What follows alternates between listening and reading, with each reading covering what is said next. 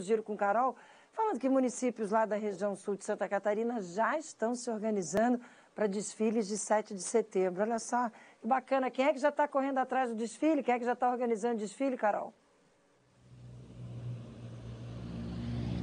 Olha, Márcia, algumas cidades como Içara, Tubarão, Araranguá, inclusive, já tem prazo para que as pessoas que tenham interesse em desfilar, entidades, grupos, né, que eles possam se inscrever e também participar de todas as reuniões para organizar o desfile para que seja tudo né, muito bonito e tudo muito bem feito. Em Içara, o desfile vai ser às 9 horas da manhã na rua Altamiro Guimarães, indo até a Praça da Matriz. Para se inscrever é só até essa sexta-feira e essa inscrição pode ser feita por meio do site Desfile Cívico arroba eduissara.sc.gov.br ou por telefone 3431 3590.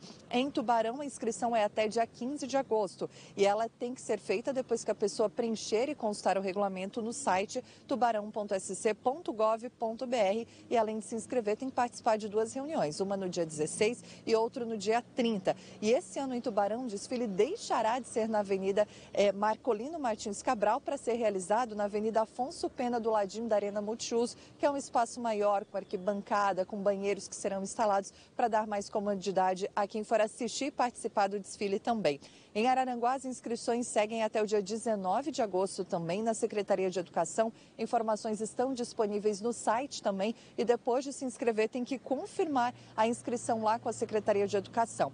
O desfile lá em Araranguá vai ser às 8 horas na Avenida 7 de Setembro mesmo, no centro. Aqui em Criciúma a gente ainda não tem todos os detalhes, a Secretaria de Educação está organizando ainda, mas o desfile vai acontecer aqui na Rua da Gente. Ano passado deveria acontecer em novembro, não aconteceu por causa de aumento de casos de Covid. Faz dois anos né, que a gente não tem desfile cívico no dia 7 de setembro. Esse ano é o bicentenário da independência, então as cidades aqui do Sul estão se organizando e quem quer participar como entidade, como grupo, tem que ficar atento aos prazos para se inscrever e poder desfilar no dia 7 de setembro. Bárcia.